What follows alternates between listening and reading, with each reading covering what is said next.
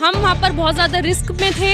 मेरा लगभग डेढ़ साल रह गए थे मेरी डिग्री कंप्लीट होने के लिए। सारे बच्चे ही परेशान हैं। Fifth year six fourth year third year second year 50 percent से ज़्यादा ज़्यादा बच्चा वहाँ पर लोन पर है। तो पेरेंट्स के लिए भी एक ये बहुत बड़ा डिप्रेशन बन गया है। तो इसलिए हम इसी डिमांड और एक रिक्वेस्ट के साथ यहाँ पर इकट्ठा हुए हैं।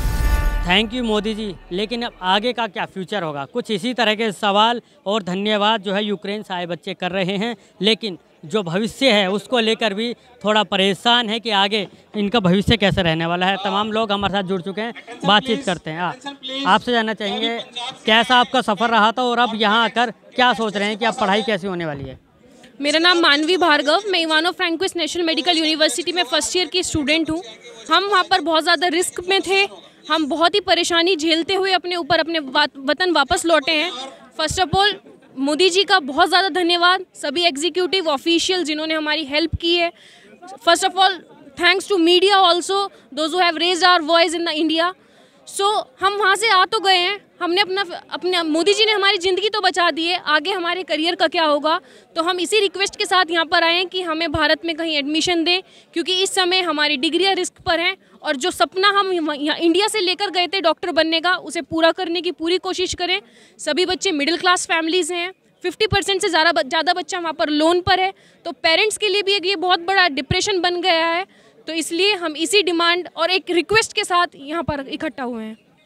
आपका क्या चल रहा था पढ़ाई का? कौन सी ईयर मेरा फोर्थ ईयर चल रहा था। और मेरा नाम अंश भार्गव है। मैं शामली यूपी से रहने वाला हूँ और मैं यूक्रेन में इवानो फ्रैंकिस में पढ़ाई कर रहा था। मेरा लगभग डेढ़ साल रह गए थे मेरी डिग्री कंप्लीट होने के लिए। पर ऐसी सिचुएशन आ गई। अब ये नहीं पता कि हमारे फ्यूचर का क्या होगा। जिस सिचुएशन में से एक वार के जोन में से एक युद्ध के एक युद्ध की कंट्री से हमें वहाँ से निकाला गया मिशन गंगा के तहत और हम शकुशल अपने वतन वापस लौटे तो एक सरकार से एक रिक्वेस्ट यही है कि जिस तरह हमारी जान बचा ली है उसी तरह हमारा एक फ्यूचर का भी बारे में सोचें हमारा फ्यूचर क्या होगा? क्योंकि अभी वहाँ जाना असंभव है अभी वहाँ पे एयरपोर्ट सब बंद हैं अभी भी युद्ध नहीं रुका है। तो यही दरखास्त है कि किसी तरह से हमें यहाँ पे मेडिकल कॉलेज में हमें एडजस्ट किया जाए कुछ ना कुछ हमारा सोल्यूशन निकाला जाए। आप बताइए आपका क्या नाम? मेरा नेम डॉक्टर अजमी है। आ, किस तरह से बच्चे आपके पास आ रहे होंगे? अभी भी सवाल पूछ रहे होंगे। क्या क्या कैसी स्थिति है? देखिए हमारी कंपनी का नाम यूरेशिया एजुकेशन लिंक है। हमारे थ्रू बच्चे बाहर पढ़ने के लिए जाते हैं सभी कंट्रीज़ में जाते हैं स्पेशली यूक्रेन में सबसे ज़्यादा बच्चे जाते हैं। तो बच्चे जब फंसे हैं हम लोगों के पास काफ़ी कॉल्स आई। अभी बच्चों को सबको निकाला गया निकाला गया है।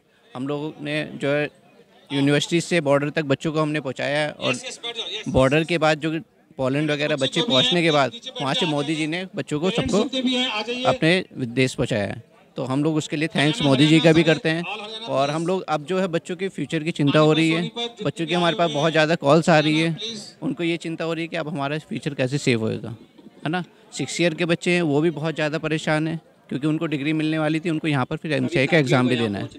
उनको डिग्री नहीं मिल पा रही है उनका टाइम लेट हो रहा है। सारे बच्चे ही परेशान हैं। Fifth year six fourth year third year second year ये तो और ज़्यादा परेशान है। फ़र्स्ट ईयर भी क्योंकि इन लोगों ने पैसे भी लगाया और इनका टाइम भी लगाया। तो ये लोग एडजस्ट नहीं कर सकते। तो हम लोग यही रिक्वेस्ट कर रहे हैं कि बच्चों को मोदी जी गवर्नमेंट या इंडियन गवर्नमेंट जो है उसको इन बच्चों को किसी भी तरीके से मेडिकल कॉलेजेस में एडजस्ट करें। क्योंकि हम लोगों के पास भी काफ़ी कॉल्स आ रही है पेरेंट्स की।